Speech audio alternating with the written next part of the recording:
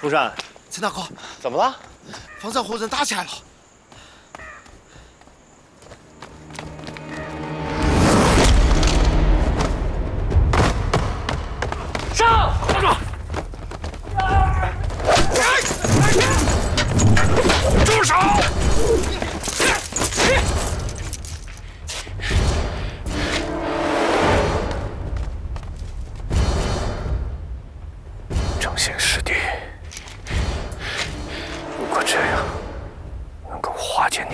的怨气，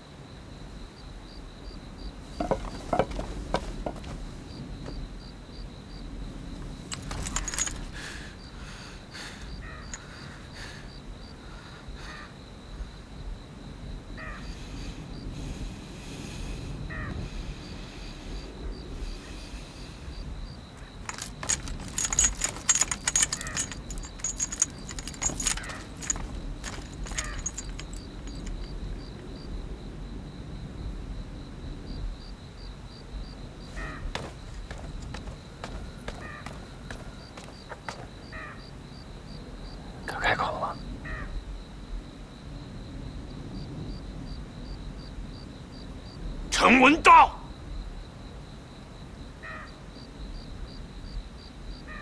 原来是你干的好事。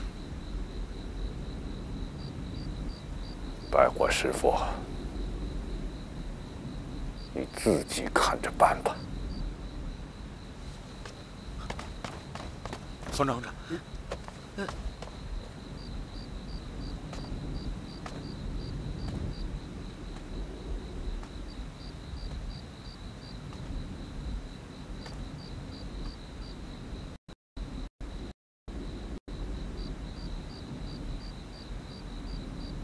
他开口了没有？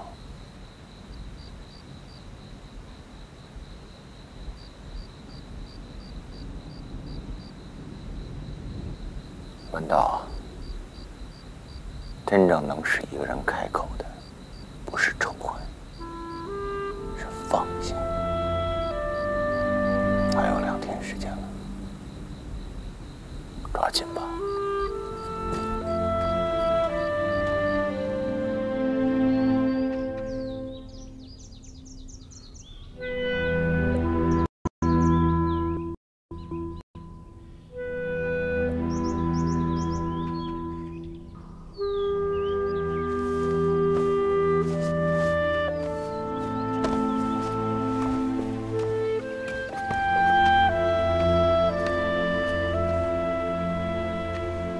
昨天晚上，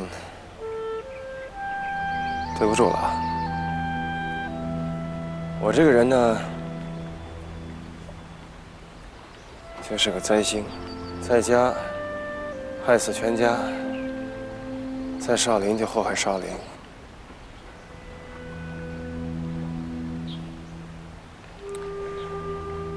我去死了，你好好活着。馒头在桌上，该吃吃，别太难为自己了。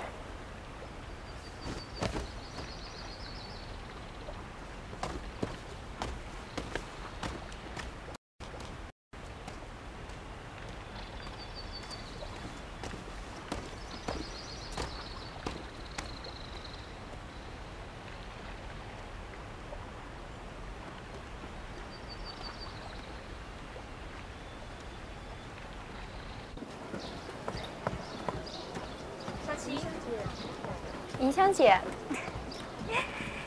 忙什么呢，小琴？啊，给珍珍姐去洗衣服。真是辛苦你了，忙了一天也该歇会儿了。没事的，云香姐。小蕊，还不快帮帮人家？好的，不用，拿过来，拿过来吧。要不你帮云香姐去买个胭脂？还不快去？哦，好的。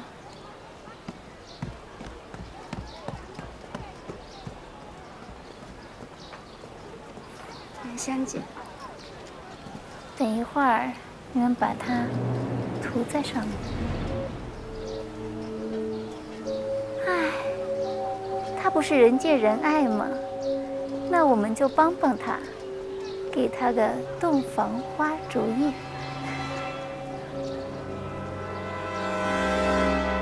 你说什么？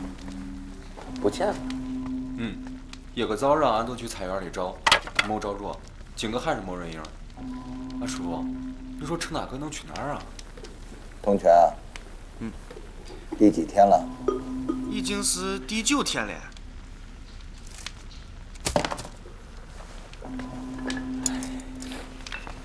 估计是没法子了，又在少林寺里惹了这么多祸，自己也没脸待下去了。走了好，省得我回头撵他。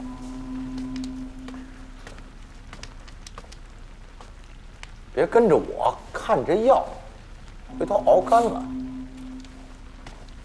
师傅，师傅，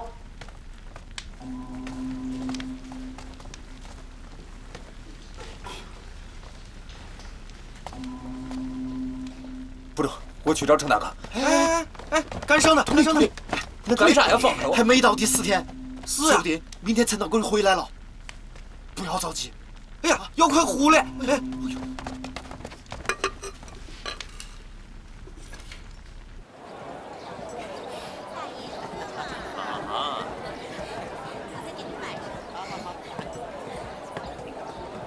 刘公子，兰姨，珍珍姑娘来了。好，好，好。珍珍姑娘，小生前日多有冒犯，还望姑娘恕罪，恕罪。公子言重了。珍珍姑娘，小生才疏学浅，不知风雅，所以特意前来听取姑娘唱曲儿，希望受一下熏陶。岂知这回去之后啊，三日不觉肉味儿。今天特意前来，姑娘放心，小生此次绝不碰姑娘一根头发。请吧。请坐，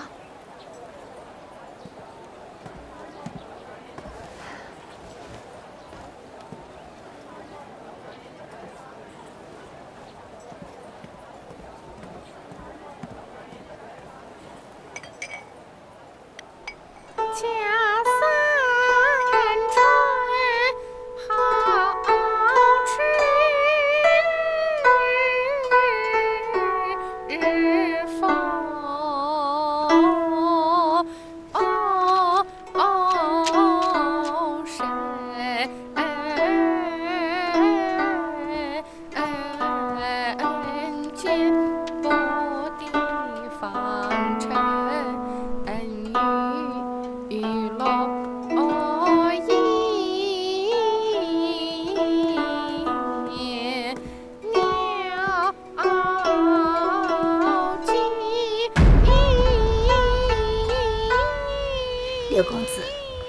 是兰姨让我为你准备的上好的沉香。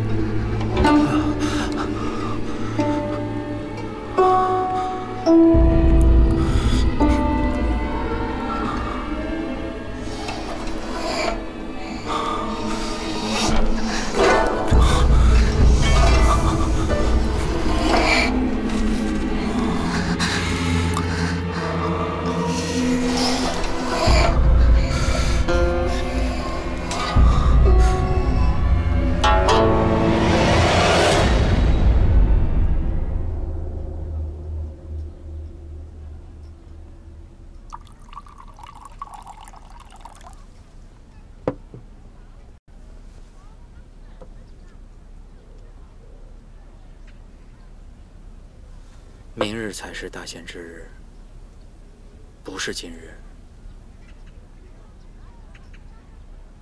文道，起来！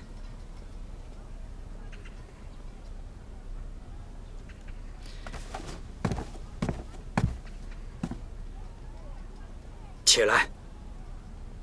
文道，起来！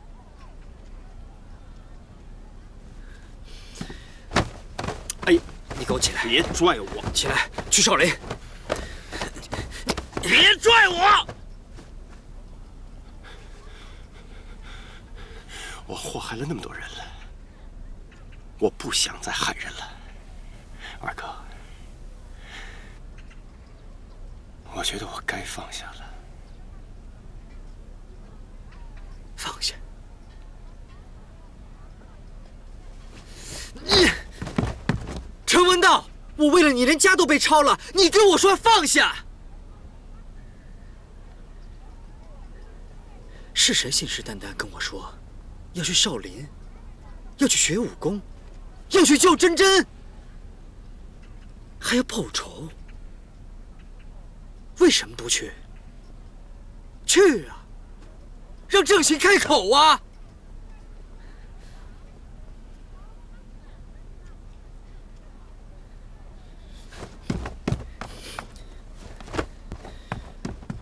陈文道，你给我看清楚，连冯毅这种小人之书都看了。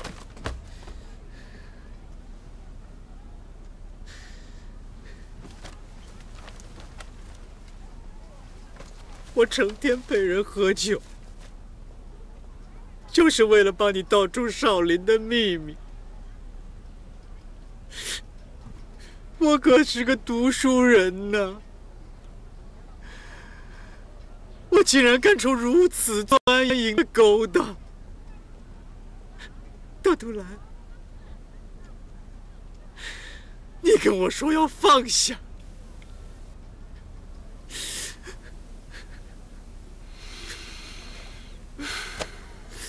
二哥，我不想再听了。不想听。程文道，你不想听，给我听好了，因为这所有的一切，都是我出卖了读书人的良知换来的消息。少林寺蒙受的劫难，罪魁祸首不是别人。就是你们少林寺的大方丈正念。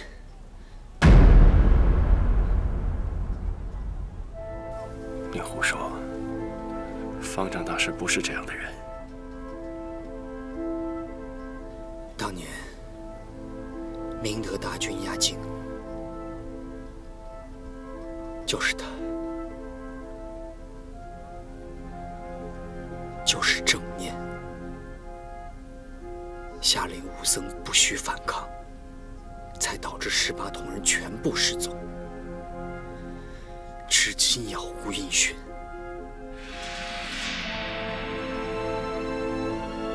别再说了，我不信。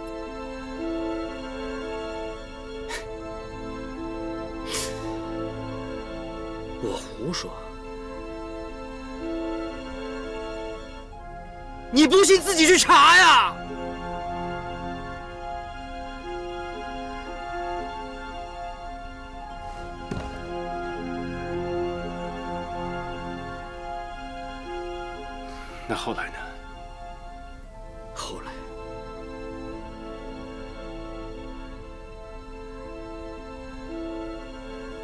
后来少林寺就多了一个